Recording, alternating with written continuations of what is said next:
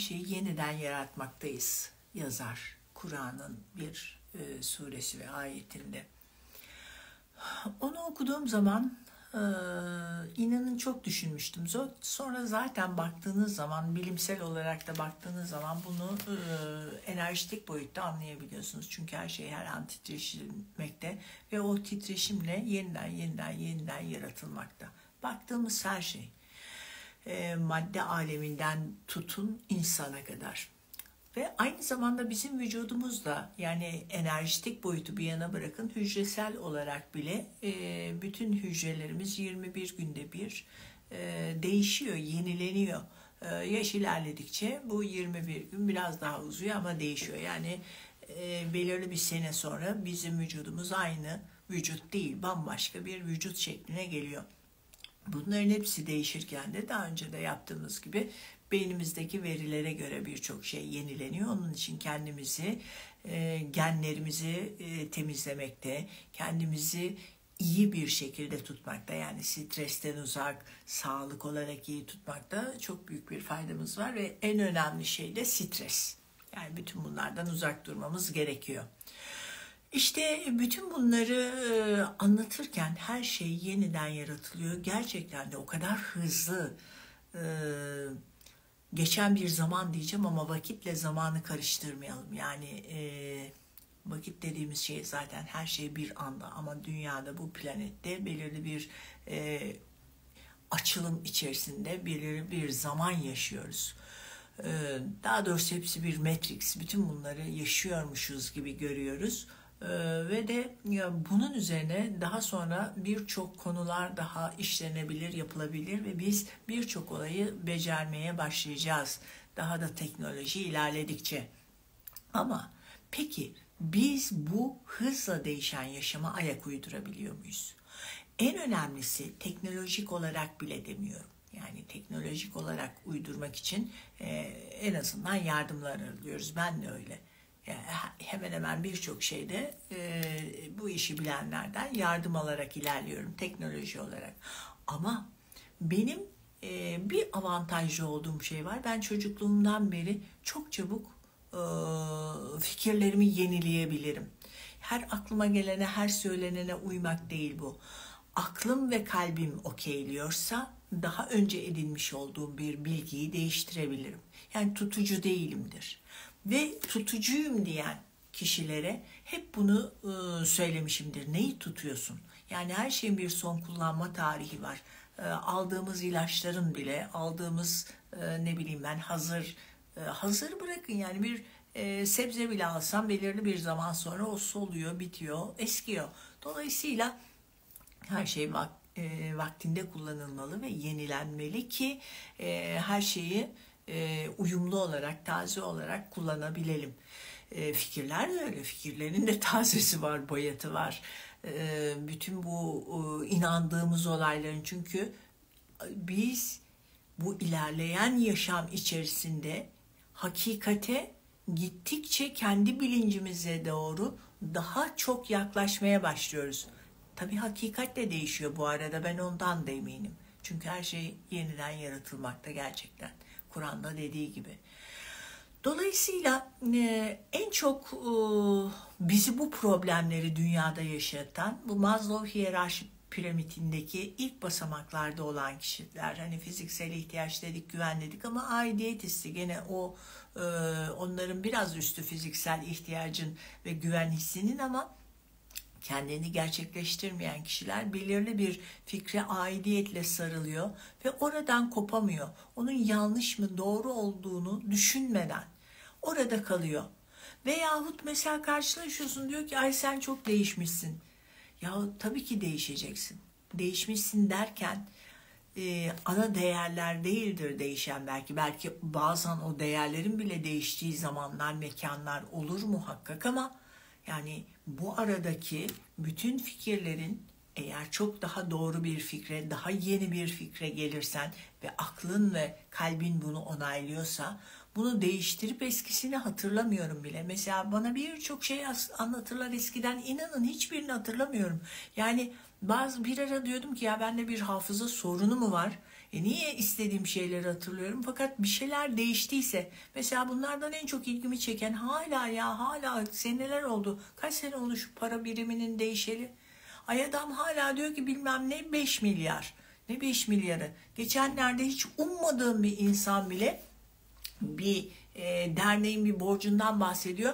Yani dedi 96 milyon borç var. Ne diyorsun ya dedim. Ne 96 milyonu? He 96 bin lira demek istiyormuş. Ama dedim yani bunu sen diyorsan millet ne desin? Ufacık bir şey. Orada kaldılar.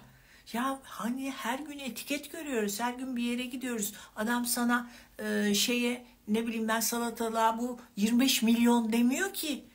Eve bakıyorsun o ne kadar pahalı ya 20 milyon olmuş ev diyorsun. E salatalık 20 milyon olabilir mi? Yani lütfen bir şeyleri artık akledelim ve değişen bir şeyi hemen kabul edebilelim. Çok sevdiğim bir arkadaşım vardı ismini değiştirdi. Anında ben eski ismi unuttum bile. Yenisini kullanmaya başladım. Birçok kişi hala onu eski adıyla hitap eder. Değişim çok önemli. Çağa uyma açısından inanılmaz önemli. Kaldı ki 0-7 yaş arasında insanlar ailelerinden almış oldukları kültürle, inanışlarla, işte değerlerle yetişiyorlar. Ve maalesef ki onlar da kendi atalarından gelen bu tip değerler ve bilgilerle yetiştirdiği ve hiç kitap okumadıkları, hiç araştırmadıkları, hiç e, bunu değiştirme ihtiyacı hissetmeyip bunun adet, gelenek, görenek olduğunu zannettikleri bir değer olduğunu zannettiği için çocuklarına verdikleri bilgi de o. Ve bu insanlarla dünyayı yönetmeye kalktığında dünyada seni yönetmek isteyenler seni yönetiyor işte. O zaman onların kölesi oluyorsun. Onlar seni bu edinmiş olduğun bilgi ve değerlere göre çok güzelmiş gibi davranarak seni kullanıyor. Seni aç bırakıyor, seni siyanürle zehirliyor, seni ne bileyim ben aklına gelen her şeyi yapıyor. El alemin çöpünü alıp senin e, yurduna atıyor. Sen o, biz o nefesi alıyoruz. Hani biz derken peki bizler ne yapıyoruz? Bizler bunları bu eğitime katkıda bulunmak için, bütün bu sisteme karşı çıkmak için oturduğumuz yerden sadece şikayet mi ediyoruz? Yoksa hakikaten bizler de araştırıyor muyuz? Ben aydın olduğunu zanneden kişilerin çoğunun doğru dürüst araştırmadığını, doğru dürüst kitap okumadığını üzülerek görüyorum. Yani okusa bile okuyan da bir değişik roman okuyor, seyrediyorsa belgesel değil ne bileyim ben dizi seyrediyor falan filan yani. Bu dizi demişken hemen onu da ben de bazı dizilere bakıyorum. Veyahut bu Müge Anlı'ymış falan filan insanları tanımak açısından ve dizilere de baktığımda gördüğüm bir şey var. Gerçekten kimler tarafından yapılıyor ve neden yapılıyor bilmiyorum ama bütün senaryolarda mafya, silah, bağırma, çağırma ve şiddet. İnsanlar devamlı porno seyrediyorsa sapık oluyor. Devamlı porno seyredenlere bakın bu çocuk tacizleri falan oradan geliyor. E bu tip e, o diziler, televizyonda bu olaylar ondan sonra hemen habere dönüyorsun. E, şehirlerde bunlar, kasabalarda bunlar, evlerde bunlar, karısını öldüren, orayı öldüren, burayı öldüren, doğayı mahveden. Bu da şiddet. Ağaçları kesmek de şiddet. Toprağımızı siyanürlemek de şiddet. Ya her tarafa bina yapmak da şiddet. Bunlara karşı çıkmalıyız. Şiddete karşı çıkmak istiyorsak. Ama biz belirli bir e, görüşte olup kendimizi değiştirmediğimiz sür, sürece ve bunun kıymetli olduğunu anladı, e, düşündüğümüz sürece bizi bunlarla yönetiyorlar. Siz, aa işte bak herkes değişti, bunlar bizi bizim gibi diyebiliyorsun. Halbuki onlar sizin gibi falan değil. Maskeli baloda. Maskeli balodasınız. Hiçbirini tanımıyorsunuz. Ne zaman uyanacağız arkadaşlar? Çok önemli bir dönemdeyiz. Çok basitmiş gibi görünen birçok şey anlatıyorum size. Bunlar basitmiş gibi görünüyor ama esas olay bunlar. Yani böyle o teferruatlarda kaybolmayın.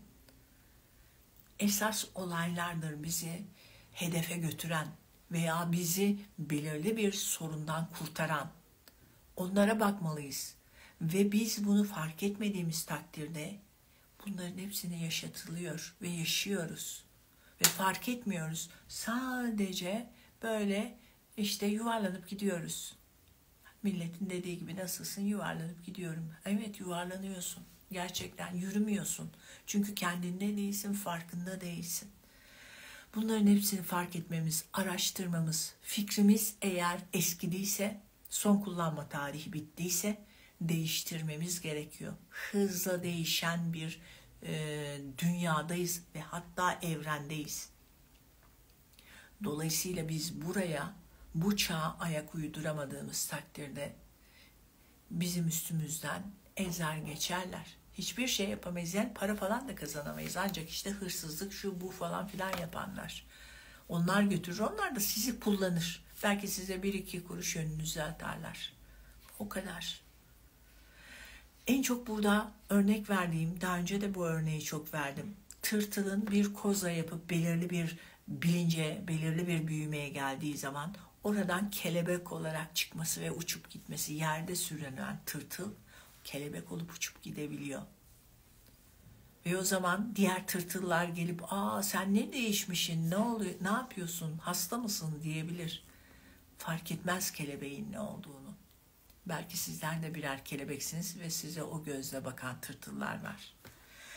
İşte şöyle veya böyle eğer ortalık tırtıl dolduysa ve biz evet kelebek olarak uçuyor olabiliriz ama dünyamız tırtıllarla birlikte batmak üzereyse bizler kelebek olarak bir şeyler yapmak zorundayız sevgili arkadaşlar.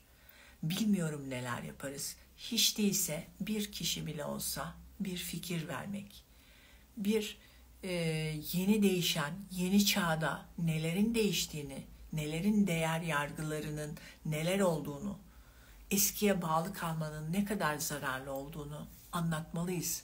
Bunların dinle veyahut e, çok değerli olmakla hiçbir ilişkisi olmadığını anlatabilmeliyiz. Dediğim gibi bir kişi bir kişidir. Hani o deniz yıldızı misali almış, atmış ya denize, deniz, kuma çıkmış olan deniz yıldızlarından birini. Ne yapıyorsun dediklerinde kurtarmaya çalışıyorum demiş ama burada binlerce var olsun bak attığım kurtuldu demiş.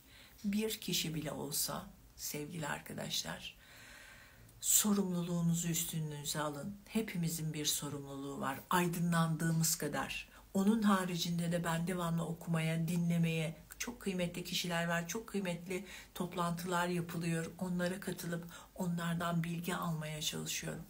Hep beraber buna çalışmalıyız. Vaktimizi boşa harcamamalıyız. Çok önemli bir dönemdeyiz ve bütün bu bilgilerle hem kendi bilincimizi yükseltmeli, bu enerjiyi tüm dünyaya yaymalı ve dünyanın enerjisini değiştirmeliyiz ki bundan da sorumluyuz. Ve en azından dünyanın enerjisini pozitif yönde değiştirecek bir kişi bile olsa onu kazanmaya gayret etmeliyiz. Evet hepimizin yolu açık olsun. Gerçekten olduğumuz yerde durmayalım, bir şeyler yapalım. Bir şey yapmalı diyordu ya bir şey yapmalı. Sevgiyle kalın, coşkuyla yaşayın.